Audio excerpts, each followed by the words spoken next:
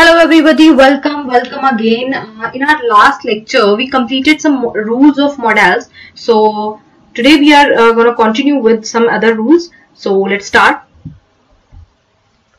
Okay, firstly we have usage of would here. Okay, usage of would. Would is used in the following cases.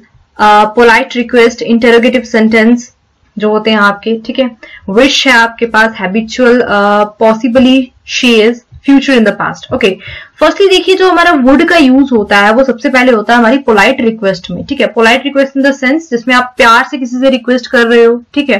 प्यार से request कर रहे हो या फिर रिस्पेक्ट देके कर रहे हो, वो आपकी पोलाइट रिक्वेस्ट हो जाती है और वो हमेशा इंटरोगेटिव सेंटेंस में रहती है ओके okay? उसके बाद आपके पास आ रही है विश फिर हैबिचुअल मतलब आपकी कोई हैबिट जो होगी वो पॉसिबली शीज ओके okay, इसका मतलब यहाँ पे ये है कि सपोज़ कर लीजिए कि आपने किसी को देखा और आप बोल रहे हैं कि शायद ये वो हो सकती है ओके okay? शायद ये वो हो सकती है मतलब पॉसिबिलिटी शो हो रही है वहाँ पे। इन दैट केस भी हम लोग क्या कर सकते हैं वुड का यूज़ कर सकते हैं वो हम एग्ज़ाम्पल में देखेंगे। Future in the past okay future in the past in the sense कि uh, एक सेंटेंस बन रहा है हमारे दो टेंसेस को लेके फ्यूचर को भी और पास्ट को भी ठीक है? तो उस केस में हम कहीं ना कहीं वुड का यूज़ करते हैं। So let start with examples I hope कि समझ में आ रहा है। चलिए। Okay okay. हमारी जो फ़र्स्ट एग्ज़ाम्पल यहाँ पे है वो है would you please help me okay would you please help me अब आप देख सकते हैं यहाँ पे प्लीज़ लग चुका है मतलब ये रिस्पेक्ट वाली रिक्वेस्ट है। तो वुड का यूज़ यहाँ पे क्या है एकदम से? सही है गलत नहीं है। ओके okay, नेक्स्ट आपके पास है she hope that he would pass the exam she hoped that he would pass the exam आप देखिए, यहाँ पे होप लग चुका है। मतलब पास्ट टेंस भी शो हो रहा है। विल से वुड मतलब फ्यूचर टेंस भी यहाँ पे क्या हो रहा है? शो हो रहा है आप लोगों को। ठीक है? तो यहाँ पे जो वुड का यूज़ है, वो भी क्या है? एकदम करेक्ट है। देखिए, यहाँ पे आपको पास्ट टेंस शो हो रहा है और उसके आगे आपको फ्यूचर टेंस शो हो रहा है। नेक्स्ट एग्ज़ाम्पल देखिए। I would like to become a teacher देखिए, यहाँ पे विश हो रही है। ठीक है? कोई विश कर रहा है। तो यहाँ पे भी जो आपका वुड का यूज़ है, वो क्या है? एकदम सही है। चलिए कुछ और एग्जाम्पल्स देखते हैं आगे। चलिए नेक्स्ट है यहाँ पे he would go to Delhi by car ठीक है he would go to Delhi by car यहाँ पे किसी की हैबिट शो हो रही है, ठीक है, कि वो क्या करता है डेली जाता है कार से जाता है। हैबिचुअल एक्शन शो हो रहा है तो यहाँ पे जो वुड का यूज़ है हमारा, वो एकदम क्या है, सही है। नेक्स्ट देखते हैं।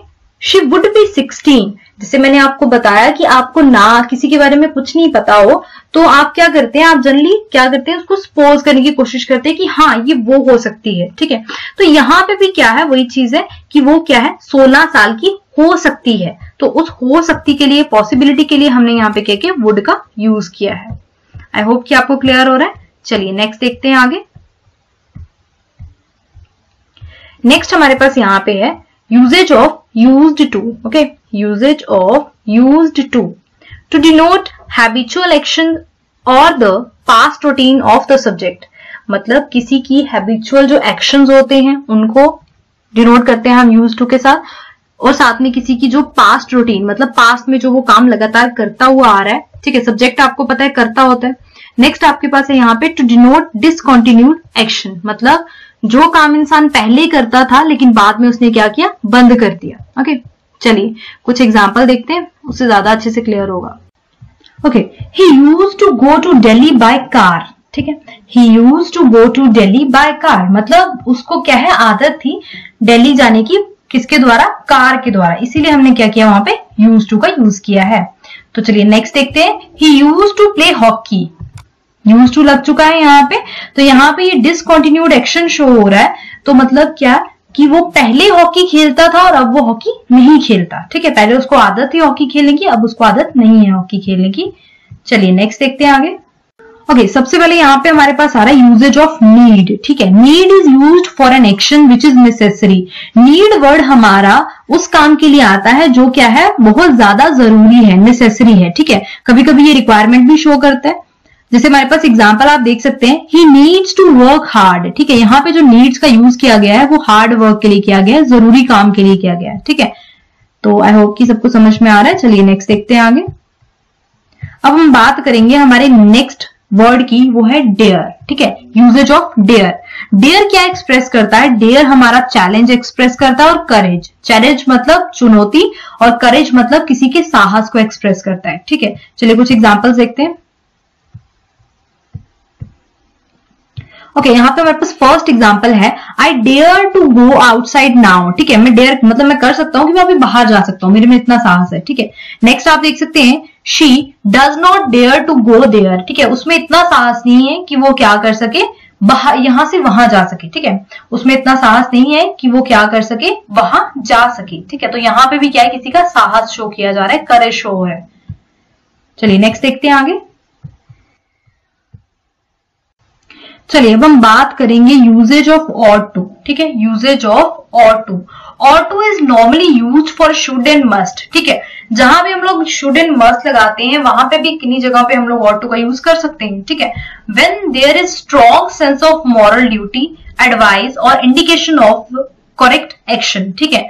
हम लोग ऑटो का यूज़ कहाँ पे करते हैं? जहाँ पे हमें अपनी एक स्ट्रॉन्ग सेंस आ रही हो, अपनी ड्यूटी की, कि ये हमारा कर्तव्य हमें ये करना चाहिए, या किसी एडवाइस की, ठीक है? या किसी सही काम की, ठीक है? वहाँ पे हम लोग क्या करते हैं? अपने ऑटो का यूज़ करते हैं। आई होप ये क्लियर हो रहा है चलिए, अब हम एग्ज़ाम्पल देखते हैं।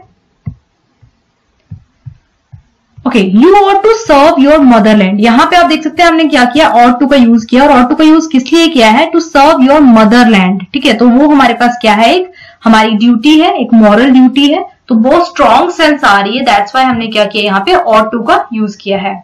आगे आप देख सकते हैं you are not to take fatty food यहाँ पे आपको एक एडवाइस दी जा रही है, ठीक है स्ट्रॉन्ग एडवाइस दी जा रही है, इसीलिए हमने क्या किया है, और टू का यूज़ किया। नॉट तो यहाँ पे उस सेंस को देने के लिए कि हाँ नहीं करना चाहिए फैटी फ़ूड का ज़्यादा यूज़ तो इसलिए हमने यहाँ पे नॉट का यूज़ किया। आई होप कि सबको अच्छे से समझ में आ रहा है तो ओके okay, uh, अब हम मिलेंगे अपने नेक्स्ट वीडियो के साथ एक नेक्स्ट टॉपिक के साथ. तो thank you thank you so much for watching this